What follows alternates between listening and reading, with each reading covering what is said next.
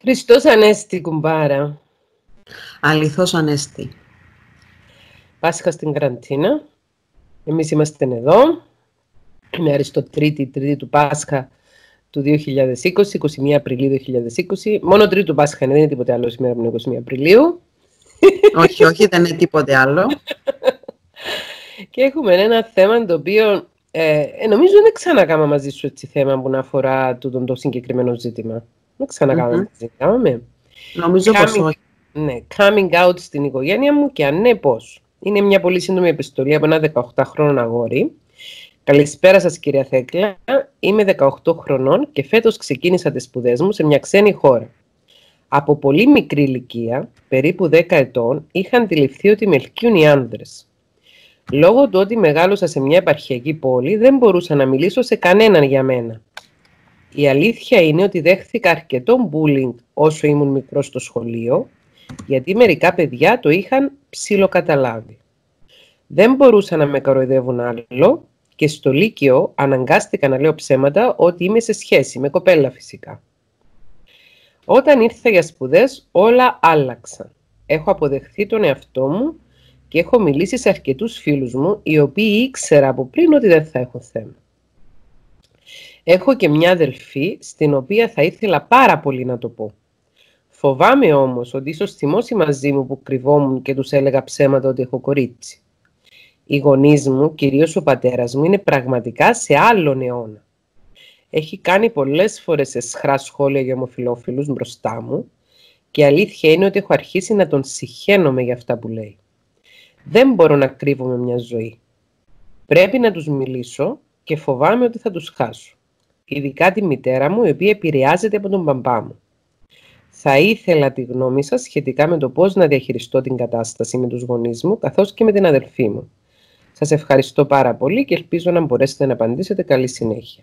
Εγώ επέλεξα να το κάνουμε μαζί γιατί 18 χρόνια είναι στην εφηβεία και εμπίπτει στα πλαίσια της δικής σου εξειδικεύσης αυτό που να πούμε ότι σύμφωνα τουλάχιστον με τους θεωρητικούς που έχουν ασχοληθεί με, την, με, αυτόν, το, με, αυτό, με αυτόν το είδος, ε, με αυτήν την κατάσταση, δηλαδή πώς να γνωστοποιήσεις τη σεξουαλική σου προτίμηση. Coming out ονομάζεται. Coming out που σημαίνει yeah. Ε. βγαίνω από την τουλάπα, που σημαίνει ενημερώνω την οικογένεια μου, τους φίλους μου για το γεγονός ότι έτυχε να γεννηθώ ομοφιλόφιλος. Ακριβώς. Λοιπόν, αυτόν, ε, σύμφωνα τουλάχιστον με τους θεωρητικούς που έχω υπόψη μου, περνάει από κάποια στάδια. Δηλαδή δεν, είναι, δεν, είναι, δεν μπαίνεις κατευθείαν σε αυτή τη διαδικασία. Η πρώτη κατάσταση είναι όταν αρχίσεις εσύ να συγχύζεσαι για το τι είσαι. Δηλαδή είναι τα πρώτα στάδια που μπορεί αυτό να ξεκινά γύρω στην πορεία από την παιδική ηλικία, ή στην προεφηβεία, ανεφηβεία, στην, στην πρώτερη εφηβεία, ε, όπου εκεί δεν ξέρεις τι είσαι, τι ταυτότητα αν έχεις κτλ. Μετά είναι το στάδιο, από ό,τι θυμάμαι, που συγκρίνεις αυτό που είσαι εσύ με αυτό που είναι οι άλλοι και προσπαθείς να καταλάβεις κάποια πράγματα. Μετά είναι το ότι ανέχεσαι αυτό που είσαι και στο τέλος αποδέχεσαι αυτό που είσαι. Λοιπόν, και ε, αργότερα αρχίσεις να αισθάνεσαι υπερήφανος για αυτό που είσαι ε, και να προσπαθείς να, να συγχωνευτείς, δηλαδή να γίνεις, ε, να μπεις μέσα στην κοινωνία. Να θεωρηθείς μέρος του συνόλου. Πώς λέγεται Άρα, αυτή η κλίμακα Αριστονίκη, έχει, είναι μια κλίμακα αυτή. Κλίμακα είναι, της... είναι η κλίμακα γνωστοποίησης της σεξουαλικής ταυτότητας, είναι του ΚΑΣ. Ε, νομίζω γύρω στο 80 που έβγαινε αυτή η κλίμακα. Λοιπόν, από εκεί και πέρα, ε, η γνωστοποίηση στην οικογένεια για μένα πρέπει να γίνεται αφότου παρέρθουν όλα αυτά τα στάδια. Και αφότου το παιδί αυτόν επί της ουσίας φτάσει στο, στο στάδιο του, που θέλει να γίνει ένα με το σύνολο. Δηλαδή να, να είναι κομμάτι της κοινωνίας, να νιώθει να αποδεχτεί αυτό που είναι και πλέον να θέλει να είναι μέσα στην κοινωνία. Τότε γνωστοποιεί στην οικογένεια και ενδεχομένως στο φιλικό περιβάλλον που δεν το έχει γνωστοποιήσει μέχρι τώρα, γιατί ο ίδιος έχει περάσει από όλα αυτά τα στάδια και είναι έτοιμος να αντιπαρέλθει σε ό,τι του πούν, το οποίο μπορεί να μην είναι και τόσο θετικό ενδεχομένως. Ε, άρα και προετοιμάζει φυσικά τον εαυτό του για οποιαδήποτε αντίδραση μπορεί να τύχει αυτή η γνωστοποίηση για το σεξουαλικό του προσανατολισμό. Ε, μπορεί να υπάρχουν κάποιοι οι οποίοι θα τον χλεβάσουν, μπορεί να υπάρχουν κάποιοι που θα, θα τον απορρίψουν, μπορεί να υπάρχουν κάποιοι που θα νιώσουν ε, ότι τους προδίδει, ότι ε, να νιώσουν ντροπή ε, και μπορεί να υπάρχουν και κάποιοι που θα το αποδεχτούν και θα δεχθούν ακριβώς αυτό που θα τους πει.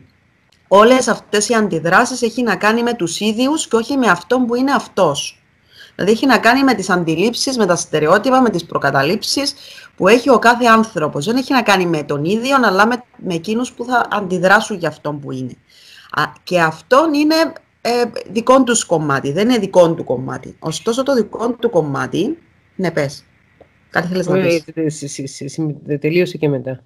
Ε, το δικό του κομμάτι είναι ότι αυτός αποδέχεται αυτόν που είναι και δεν τον ενδιαφέρει τόσο πολύ το τι άλλη άποψη θα βγάλουν οι άλλοι, ακριβώς γιατί ο ίδιος έχει αποδεχτεί τον εαυτόν του, έχει αποδεχτεί την σεξουαλικό του ταυτότητα και τον σεξουαλικό του προσανατολισμό. Θεωρείς ότι αυτό το παιδί στα 18 έχει φτάσει σε αυτό το στάδιο; Δεν μπορώ να το ξέρω, γιατί δεν μας έχει πει ακόμη, δεν, δεν μας έχει πει περισσότερα λόγια για να μπορώ να καταλάβω. Δηλαδή, Λέει ότι μας μέχρι να πάει να σπουδάσει, ε, ναι. έλεγε ψέματα στο περιβάλλον του ότι έχει φιλενάδα για να μην τον ε, ενοχλούν. Ναι. Και τώρα σκέφτεται ότι αν μιλήσω στην αδερφή μου, η αδερφή μου δεν θα, δεν θα με απορρίψει επειδή της έλεγα και εκείνης ψέματα ότι είχα φιλενάδα και δεν την εμπιστευόμουν μέχρι τώρα. Εντάξει, ε, προφανώς ε, είναι, έχει ακόμη αντιρρήσεις, είναι, έχει, είναι ακόμη, νιώθει έναν άγχος γύρω από, αυτό το, γύρω από αυτήν την αποκάλυψη. Είναι πολύ φυσιολογικό όμως να νιώθει. Πολύ φυσιολογικό. Και ειδικά άμα γνωρίζει Αλλά... ότι ο πατέρας του είναι ομοφοβικός και έχει κάνει πολύ άσχημα σχόλια μπροστά του σε σημείο που έχει αρχίσει να μισεί, λέει τον πατέρα του. Ναι. Ε, για μένα όλα ξεκινούν από την ίδια την αποδοχή που έχει ο ίδιος για την ταυτότητα του και τον προσανατολισμό του ε, και του να ε, κάνει μια δουλειά με τον εαυτό του ή ακόμα και να, να κάνει και ψυχοθεραπεία γύρω από το τι είναι σημαντικό να δώσει, σε, σε, σε τι σημαντικό να δώσει σημασία από τους σημαντικούς άλλους της ζωής του. Δηλαδή, ναι, ο πατέρας και η μητέρα για κάποιους είναι σημαντικοί άλλοι, γιατί για κάποιους ε, έχουν από, αποδεκατιστεί, ας το πούμε, έχουν αποκαθιλωθεί λόγω της ε, κατάστασης της ε, της προσωπικότητάς τους και της στάσης τους απέναντι στα παιδιά τους. Για τους άλλους που ακόμα παραμένουν τα παιδιά που είναι σημαντικοί άλλοι, θα πρέπει να διαχωρίσουμε τι είναι σημαντικό από το σημαντικό άλλο. Δηλαδή, αν ξέρω ότι ο πατέρας μου και η μητέρα μου είναι προκατελημένοι, έχουν αντιλήψεις του 1920, του μεσαίου, 30, 40, 50, δεν ξέρω, γύρω από αυτό το θέμα, αρνούνται πεισματικά να αποδεχτούν την, τις νεότερες επιστημονικές έρευνες που αποδεικνύουν κάποια πράγματα. Και δεν μπορούμε να συνεννοηθούμε σε αυτόν το συγκεκριμένο κομμάτι, να επιλέγω συνειδητά ότι η, την απόρριψη τους όσον αφορά αυτόν το συγκεκριμένο κομμάτι δεν θα τη λάβω υπόψη μου, ακριβώς γιατί δεν ε, στερνίζομαι τις απόψεις τις, ε, που έχουν τις παροχημένες, τις συντηρητικές, γύρω από αυτόν το θέμα. Υπάρχει όμως το εξής που με προβληματίζει. Μήπως είναι πολύ νωρίς που σκέφτεται να πάει να το πει στους γονείς του δεδομένου ότι οι γονείς του είναι τόσο συντηρητικοί και μήπως είναι μια προσπάθεια αυτός αμποταρίσματος. Δηλαδή μόλις πήγαινε να σπουδάσει και άρχισε να νιώθει ελευθερία και να νιώθει καλά και έχει ήδη μιλήσει σε ανθρώπους που καταλαβαίνει πως είναι gay friendly, άρα δεν θα του έκαναν ψυχολογικό πόλεμο. Μήπως αυτή η επιθυμία στην παρούσα φάση να πάει να μιλήσει είναι, ε, είναι λιγάκι αυτοκαταστροφική, όχι με την έννοια να μην το πει ποτέ. Σε μια ιδανική κοινωνία, σε μια ιδανική κοινωνία, οι γονείς θα είχαν τα μάτια και τα αυτιά τους ανοιχτά και θα αντιλαμβάνονταν και από μόνοι τους από νωρίς ότι ίσως το παιδί μου έχει διαφορετικό σεξουαλικό προσανατολισμό και δεν θα ένιωθε κανένα δισταγμό το παιδί να μην μοιραστεί με τους γονείς του το ταξίδι της αυτοαποκάλυψης και της αποκάλυψης της ε, σεξουαλικής του ταυτότητας και του σεξουαλικού του προσανατολισμού. Όμως δεν είναι ιδανική η κοινωνία, ούτε είναι ιδανική η οικογένεια του παιδιού έτσι όπως περιγράφεται. Δηλαδή, αν ένα παιδί έχει ανάγκη μέσα σε μια οικογένεια να παίζει θέατρο, ότι είναι straight ενώ δεν είναι, εάν δέχεται bullying από το δημοτικό, στο γυμνάσιο, στο λύκειο και οι γονείς του δεν πήραν είδηση ότι δέχεται bullying και δεν πήραν είδηση ότι το παιδί τους δημιουργεί κάποιους μηχανισμούς άμυνας, χρησιμοποιεί κάποιους μηχανισμούς άμυνας για να επιβιώσει μέσα στη ζούγκλα του σχολείου, σημαίνει ότι αυτοί οι γονείς δεν είναι πολύ κοντά στο παιδί τους ουσιαστικά, δεν είναι πολύ γονεϊκοί. Και άρα ίσως να πρέπει να περιμένει προκειμένου να μην δεχθεί κι άλλο χτύπημα από τους γονείς του, το οποίο να είναι δύσκολο για τον ίδιο να το επεξεργαστεί στη ηλικία των 18 ετών. Δηλαδή, και ίσως γι' αυτό να πρέπει να πάει να δει ψυχολόγο από κοντά ακριβώς για αυτόν τον λόγο και να, το, να, να αξιολογήσει την κατάσταση μαζί με τον ψυχολόγο, που ο ψυχολόγος θα έχει την ευκαιρία και την ευκαιρία να το ρωτήσει πολλά πράγματα και να μαζέψει πολλές πληροφορίες γύρω από το οικογενειακό του περιβάλλον. Γιατί εγώ έχω δει στο παρελθόν Αριστονίκη ε, ενήλικες ε, ανθρώπους ομοφιλόφιλους οι οποίοι είχαν τραυματικότατες εμπειρίες όταν έκαναν coming out σε μια οικογένεια που δεν ήταν έτοιμη να τους αποδεχθεί, σε μια ηλικία που ήδη ακόμη δεν είχαν πλήρη εγκεφαλική εξέλιξη. Δηλαδή είπαμε ότι μέχρι τα 24, 25, 26 χρόνια εξελίσσεται ο ανθρώπινος εγκέφαλος. Δηλαδή άλλη δυνατότητα έχεις να αντιληφθείς ότι οι γονείς μου σκέφτονται λαθεμένα και δεν θα τους λάβω υπόψη όταν είσαι 26 χρονών, 24 χρονών και άλλη δυνατότητα έχεις στα 18 σου.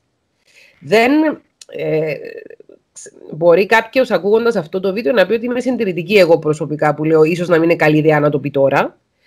Το λέω όμως με, με κάθε επιφύλαξη, με την έννοια του να δει ψυχολόγο από κοντά και να γίνει μια αξιολόγηση της κατάστασης από κοντά και καλύτερα να πάει να δει κάποιον ψυχολόγο ο οποίος να είναι εκπαιδευμένος σε θέματα των ΛΟΑΤΚΙ ανθρώπων όχι κάποιο ψυχολόγο άσχετο, κάποιον που να έχει μια εξειδίκευση και γνώση της, του θέματος. Και, γνώση και ο ίδιος να μην έχει προκατάληψη και στερεότυπο. Ναι, βεβαίως. Βεβαίως, ναι. Ε, μπορεί, αν θέλει, να μου στείλει email το παιδί να του συστήσω κάποιο συνάδελφο. Μπορεί να κάνουν και συνεδρίες στο Skype. Τώρα, ευτυχώς, μέσω του. Ένα από τα καλά της πανδημίας είναι ότι έχουμε αποδεχθεί τις συνεδρίες Να πω επίσης ε, ε, πάνω σε αυτό που είπα πριν, ότι ε, με βάση το διοντολογικό κώδικα ε, κανένας ψυχολόγος ε, που θέλει να λέγεται ψυχολόγος δεν δικαιούται να έχει προκατάληψη και στερεότυπα γύρω από τον σεξουαλικό προσανατολισμό του οποιοδήποτε, την θρησκεία του οποιοδήποτε, το χρώμα του οποιοδήποτε, το φίλο του οποιοδήποτε. Γενικά απαγορεύεται ρητός από τον κώδικα δεοντολογίας. Και μην πάμε πολύ μακριά, πριν 30-40 χρόνια υπήρχαν ολόκληρες εγκληματικές θεραπείες μεταστροφής σεξουαλικού προσανατολισμού από ψυχίατρους και ψυχολόγους. Μιλάμε τώρα πριν 50 χρόνια, πριν 40 χρόνια που είναι εγκληματικές. Δηλαδή υπάρχει και ένα μαρτωλό παρελθόν που στην ουσία η ψυχιατρική είχε προσπαθήσει να ασχοληθεί με την αλλαγή ε, σεξουαλικού προσανατολισμού, ανεπιτυχώς βέβαια και παράγοντας πολλούς ανθρώπους με σοβαρά ψυχιατρικά προβλήματα, τα οποία προήλθαν λόγω των λεγόμενων θεραπείων μεταστροφής. Υπάρχει και ένα αμαρτωλό παρελθόν της ψυχιατρικής σε σχέση με αυτό το θέμα, άρα καλά κάνεις και το θίγεις. Όχι, εγώ έχω υπόψη μου κάποιους συναδέλφους οι οποίοι είναι όχι απλώς gay friendly, είναι άνθρωποι που έχουν ασχοληθεί, έχουν εκπαιδευτεί πάνω στην ε, ψυχοθεραπευτική αντιμετώπιση θεμάτων που προ, προκύπτουν μέσα στη ΛΟΑΤΚΙ κοινότητα. Οπότε είτε ο φίλος αυτός είτε κάποιος άλλος, αν θέλει, μπορεί να μου στείλει email και να τον παραπέμψω σε έναν από αυτούς τους συναδέλφους. Χωρίς να έχω κάποιο όφελος να παραπέμπω κάποιον, το γνωρίζετε. Ε, το άλλο που ήθελα να πω είναι ότι ίσως η αδελφή του που είναι πιο κοντά στην ηλικία με τον ίδιο να μπορέσει καλύτερα να τον καταλάβει. Εξαρτάται από το δεσμό που έχει με την αδελφή του. Υπάρχουν αδέλφια τα οποία είναι συνδεδεμένα μεταξύ τους και μπορούν να κρατήσουν μυστικά μεταξύ τους από τους γονείς. Π.χ. να πάει να το πει στην αδελφή του και η αδελφή του να έχει εμπιστοσύνη και να μην το πει στη μάνα της, να μην στη μάνα τους, στον πατέρα τους και να δημιουργηθεί θέμα, εάν η σχέση τους είναι τέτοια. Γιατί υπάρχουν οικογένειες που είναι συγχωνευμένες. Λες κάτι σε ένα μέλος της οικογένειας, το μαθαίνουν όλοι. Δεν, είναι έτσι, δεν υπάρχει εμπιστοσύνη.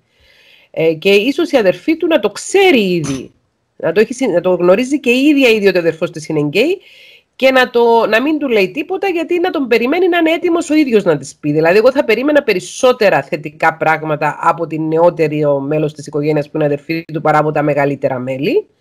Και όσον αφορά με τον πατέρα του που είναι ομοφοβικός και εκφράζεται ομοφοβικά και τη μάνα του που ακολουθεί τον πατέρα του, θέλω να πω στο φίλο ότι έχω δουλέψει για χρόνια με μητέρες ομοφυλόφιλων ανδρών ή μητέρες ομοφυλόφιλων γυναικών οι οποίες κατάφεραν μέσω της ψυχοθεραπείας να πάνε κόντρα στη θέληση του ανδρός τους και να μπορέσουν εν τέλει να αγαπήσουν τα παιδιά τους όπως είναι. Όμως πέρασαν από μια διαδικασία, οπότε καλύτερα να, όταν είναι έτοιμος, όπως είπες και εσύ, να το κάνει και να το κάνει και με συμβουλή ψυχολόγου, η γνώμη μου. Ναι, να δει και μέσα από την θεραπεία που θα κάνει με τον ψυχολόγο, σε ποιο στάδιο είναι ο ίδιος, ε, αν έχει περάσει από όλη αυτή τη διαδικασία και γενικότερα να δουν και άλλες λεπτομέρειες που είναι σημαντικές. Πάντως είναι, είναι, είναι άδικο πράγμα να γεννιέται ένα ομοφιλόφιλο παιδί σε μια οικογένεια η οποία έχει ομοφοβία. Είναι άδικο πράγμα. Άδικο. Άδικο. Είναι εξαιρετικά άδικο πράγμα. Εγώ πάρα πολλές φορές σκεφτόμαι όταν μου στέλνουν email παιδιά τα οποία αντιμετωπίζουν παρόμοια θέματα, γιατί να μην γεννούσα εγώ αυτά τα παιδιά που δεν έχω τέτοια θέματα και τα γεννούν άνθρωποι που έχουν θέματα. Είναι άδικο. Είναι άδικο να, να γεννιέσαι ομοφιλόφιλο και οι γονείς σου να είναι ομοφοβικοί, ο ένας από τους δύο γονείς. Είναι άδικο και επίσης είναι και πολύ ψυχοφθόρο. Ε, γιατί αυτά τα παιδιά ενδεχομένως να το βιώνουν αυτό, αυτήν τη, με, μερικά, μερικοί άνθρωποι οι οποίοι έχουν αυτόν τον σεξουαλικό προσανατολισμό αυτό ε, δε, το καταλαβαίνουν ενδεχομένως και ήδη από, από την παιδική τους ηλικία. Ναι, από, ναι, από 10 χρονών που σου λέει το παιδί. Ναι. Και υπάρχουν πάρα πολλοί γονείς που επειδή το αντιλαμβάνονται ε, τρέχουν σε ειδικούς πάση φύσεως για να βοηθήσουν το παιδί τους να γίνει πιο άντρας, να γίνει πιο γυναίκα. Δεν ξέρω τι άλλα τέ, τέτοια ακούμε, ακούμε γενικώς. Και αυτό είμαι σίγουρη ότι αυτά τα παιδιά το βιώνουν έντονα ως απόρριψη και είναι βαθύτατη απόρριψη για τον προσανατολισμό και την ταυτότητά τους. Ε, τα οποία σίγουρα χρειάζεται οπωσδήποτε να τα, να τα πούνε σε ένα θεραπευτικό πλαίσιο, ούτως ώστε να επέρθει μία ε, αποδοχή της, κατα... της δικής τους ταυτότητας. Και μετά έρχεται και μια κοινωνία ομοφοβική, η οποία λέει όσοι είναι ομοφιλόφιλοι έχουν ψυχολογικά προβλήματα είναι μια από τις κοινωνικές προκαταλήψεις που κυκλοφορούν, ενώ στην πραγματικότητα η κοινωνία προκαλεί ψυχολογικά τραύματα και ψυχικά τραύματα στους ανθρώπους που είναι ομοφιλόφιλοι και είναι κάτι το οποίο δεν επιλέγουν και δεν φταίνε γι' αυτό. Ακριβώς. Χωρίς να σημαίνει ότι συμφωνώ με το ότι όλοι οι άνθρωποι που έχουν διαφορετικό σεξουαλικό προσανατολισμό έχουν ψυχολογικά προβλήματα. Δεν συμφωνώ με αυτό.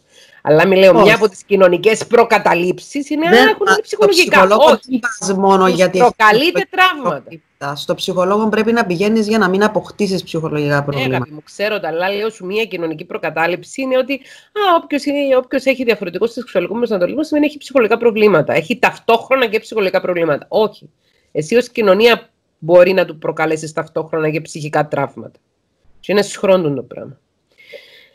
Λοιπόν, αυτά και εύχομαι στο φίλο ότι καλύτερο. Να θέλει να του συστήσω κάποιο συναδέλφο για συνεδρία στο Skype να μου στείλει email πίσω. Αυτά για σήμερα και συνεχίζουμε. Καλημέρα σε όλους. Καλημέρα. Καλημέρα. Γεια.